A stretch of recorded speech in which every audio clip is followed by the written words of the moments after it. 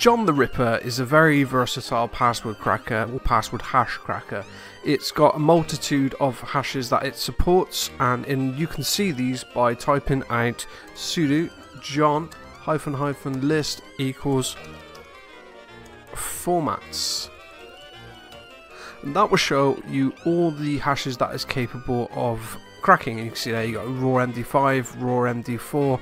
So it is capable of cracking a lot of hashes and this is a particularly good command to remember as well because if you're in an exam and you forget how to crack like a raw MD5 and for some reason John isn't able to identify the hash you need to be able to tell it how to crack or what hash it is going to crack. And sometimes you may forget the exact wording of the type of hash that you need to tell it to crack. So if you just run sudo john list hyphen formats or john hyphen hyphen list equals formats, that will tell you all the available password hashes that John can crack. And then when you specify the format, when you're doing your crack, you can do hyphen hyphen format equals raw MD5 and then feed it your raw MD5 hash and then it will know that it's an MD5 and it will be able to crack it. John the Ripper has a number of different cracking modes. The most commonly used one, in my opinion, or the one that I've used the most, is word list mode. And what word list mode is, is it uses a word list, uh, one that you've chosen to use to sort of compare the hash to. So it would go through and it would hash the words in the word lists and compare them to the hash that you fed it to see whether they match. And then that will allow you to get the correct hash or the correct password back for the hash that you've supplied.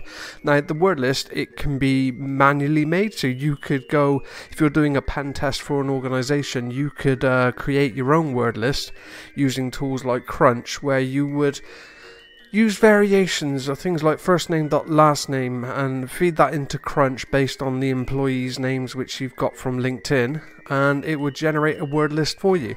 Or you can just head onto the internet, go to seclists on GitHub, they've got a great set of word lists, or use rocku.txt, and then you would feed John your hash, you would tell it what word list it is you want to use, and then it would go through comparing the hash to the words in the word list hashing those, and then that's how it would determine the correct password.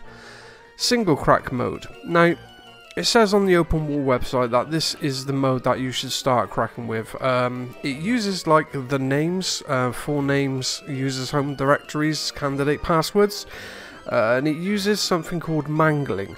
Now, the word list mode can use mangling too, but what mangling is, is it applies a rule set to the words in the word list or to the sort of methods it's trying to brute force the password.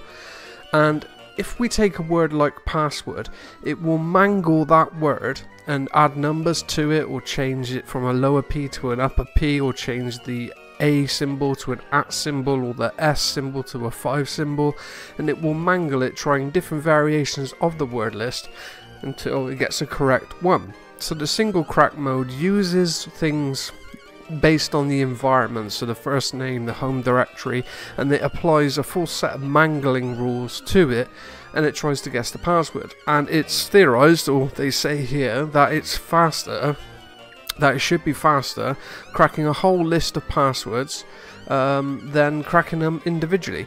Because what it will also do is it will take any password that it's guessed successfully and it will attempt to use that password on other hashes as well. So if you've got people within the same organizations using the same passwords, then it would try that and it would be able to successfully guess it. Incremental mode. Now, this is probably one of the most powerful modes there is, and it's just essentially a brute force against the password hash, and it will just go through incrementing from A, A, B, A, B, C, uh, going through numbers, characters, letters, all through the alphabet, all through the numericals, all through your character tables until it finds the correct hash. Now, as we know, as complex get as passwords get longer and more complex, the time that it takes for it to do this will increase exponentially. Um, but you can tell it the length of the password. So if you're able to, if you know the length of the password, say you were able to get the password complexity requirements from group policy or something like that, and you know that it has to be over eight characters, but it can't be longer than 12 characters, you could you could program that or, or argue that into the command so it knows when to give up or it knows not to try sort of incrementing past that number and that should greatly reduce the time. But this is like a true brute force mode against a password and then you have external mode. And from what I've read and from what I've understand understood of this, it's where you would supply your own sort of program or your own module that you import into John. It uses a substitute a subset of the C language, and then John will compile that program on starter.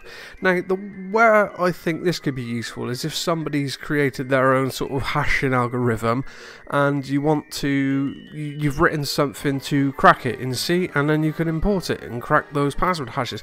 I could be completely wrong, but again, I haven't really looked too much into this mode because I don't think it would be that useful for me. I mean, if they're using their own sort of custom password hashes at that point, then what's, you know, grats, I suppose.